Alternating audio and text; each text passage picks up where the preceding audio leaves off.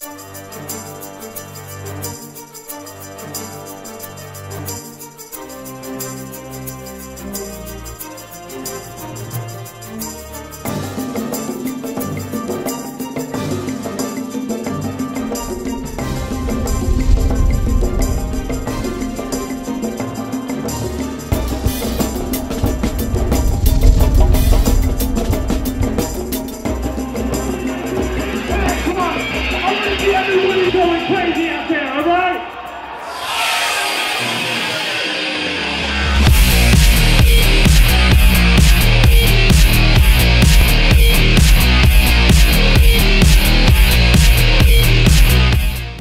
first started, uh, my my main interest was production.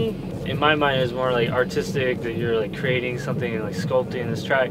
But then, you know, as I got more and more into DJing, I really started to see the the art of that side of it as well.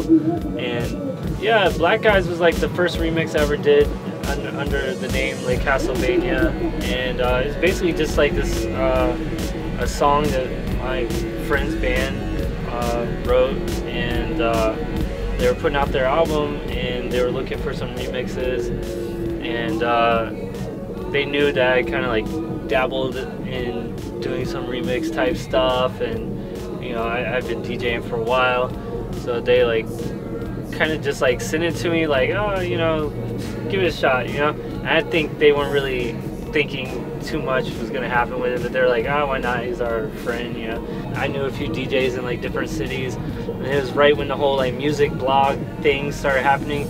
So I like sent it out to a couple DJs and sent it to a few of the like popular blogs. And all the blogs just kind of like grabbed onto it and just like from there it just spread all over the internet. That was pretty much how everything started for me. You know, like I was just making tracks in my bedroom and popped off, and it started spreading everywhere. And I was like, all right, I guess I better make some more songs. to me, I look at DJing as kind of like the reward for the time spent in the studio, like you know, working away on the tracks. You know, the reward is when you get to actually bring it out and like present it to the audience and like everybody, you know, hears it for the first time and you just see people just like going ham, you know?